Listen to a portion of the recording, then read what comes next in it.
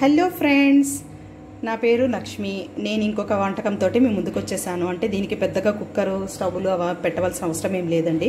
మనం పచ్చి పులుసు. మాకు తెలుసండి అంటారేమో అల్లం పచ్చి పులుసు. అయితే మనం చాలాసార్లు ఈ అల్లం పచ్చి పులుసు అనగానే పచ్చి పులుసు అనగానే ఉల్లిపాయలతో చేసుకోవాలేమో అనుకుంటాం. అలా అవసరం లేకుండా ఇలా ఈసారి పచ్చిపులుసు పచ్చి పులుసు చేసుకోండి. ఉపవాసాలు ఉన్నప్పుడు కానీ ఎప్పుడైనా మనకు కొంచెం ఆనియన్ గ్యాస్ ఫామ్ అవుతుంది అని అనుకున్న వాళ్ళకి ఉల్లిపాయలు తినని వాళ్ళు కూడా ఉంటారు. వెల్లుల్లిపాయలు తినని వాళ్ళు ఉంటారు. వాళ్ళ కోసం నేను ఈ రెసిపీ చూపిస్తున్నానండి. సో దీనికి కావాల్సినవి ఏంటంటే ఇదిగో ఇలాగా.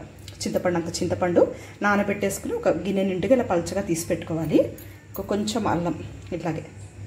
కొంచెం అంత అల్లం ఇంకో కొంచెం అల్లం తీసేసుకుని ఈ అల్లాన్ని కూడా ఇలాగ పల్చగా ఒక గ్రైండ్ చేసేసుకుని ఒక వాటర్ అంటే మనకి చింతపండు ఎంత ఉందో అల్లం అంత తీసుకోవాలన్నమాట. సో అలాగే కాస్త ఇవి కొద్దిగా ఇంగువ ఆవాలు ఎండుమిరపకాయలు. అయితే మనకి ఇలా బెల్లం ఇలా ఉంటుంది కదండి ఒక్కొక్కసారి ఈ బెల్లం ఏమవుతుందంటే ముద్దలాగా ఉండి తరగడానికి రాదు కొట్టడానికి రాదు ఏమీ చేయలేదు. అలాంటప్పుడు నేను ఏం చేస్తానంటే ఈ పీలర్ తోటి దాన్ని ఇలా పీల్ చేసుకుంటాను. ఇది కూడా ఇందులో సగం. అంటే ఎంతైతే ఈ చింతపండు రసం ఉందో దానిలో కొంచెం అంత బెల్లం పొడి అనమాట ఇది తీసేసుకుని ఇప్పుడు దీన్ని అన్నీ ఒకసారి కలిపేసుకుందాం. ఏం లేదు ఇందులో ఇప్పుడు ఈ అల్లపు చింతపండు రసం.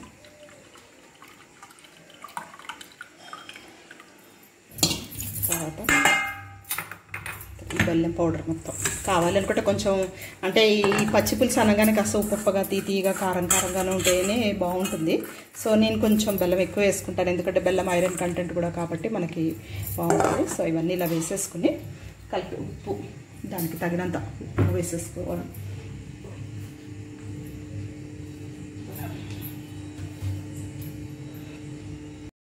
సో ఈ పచ్చి పులుసుకు తగ్గట్టుగా అంత ఉప్పు వేసేసుకొని ఈ స్టవ్ వెలిగించేసుకుందాం ఇప్పుడు.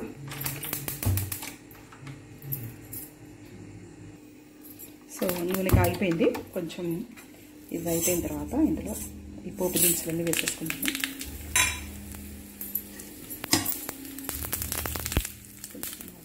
చెప్పాను కదండి ఎప్పుడు కూడా ఈ ఆవాలు చిట్టుపట్లాడాలి కొంచెం లైట్గా అవ్వాలి.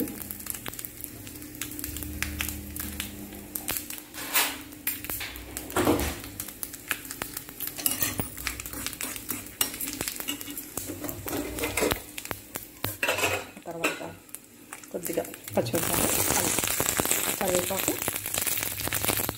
పసుపు ఎప్పుడు కూడా నూనెలో వేసుకోవాలండి. పసుపు ఎప్పుడు కూడా నూనెలో వేసుకుంటే దాని కలర్ ఐటమ్ ఎప్పుడు చాలా తక్కువగా వేసుకోవాలి. పసుపు ఎప్పుడు మనకి నూనెలో వేసుకుంటే దాని టేస్ట్ కానీ దాని టెక్స్చర్ కానీ దాని కలర్ కానీ చాలా డిఫరెంట్గా ఉంటుంది అనమాట సో ఇలా వేసేసుకుని సో ఇలా వేగిపోయిన పోపు దినుసుని ఇందులోకి వేసేసుకుని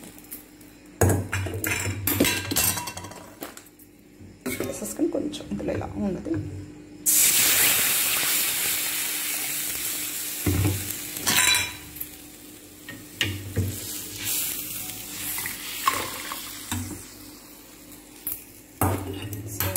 పచ్చి పులుసు ఇది లాగా పెడితే లోపల ఇంకా మనం కొంచెం ఇది వేసాం కదండి బెల్లం వేసాం కదా ఇలా కొంచెం చేసేస్తే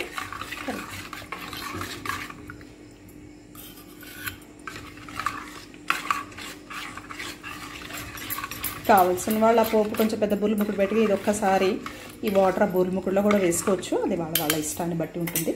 సో పచ్చి పులుసు రెడీ అయిపోయింది. ఇంతకుముందు వీడియోలో ఉండ్రాలు ఎలా చేసుకోవాలో చూపించాను కదండి. ఆ ఉండ్రాళ్ళలోకి పచ్చి పులుసు చాలా బాగుంటుంది. So hope you like it ఒకసారి చెయ్యండి. షేర్ చేయండి. మీరు చేసుకుని తిన్నాక అందరికీ షేర్ చేయండి లైక్ చేయండి సబ్స్క్రైబ్ చేయండి.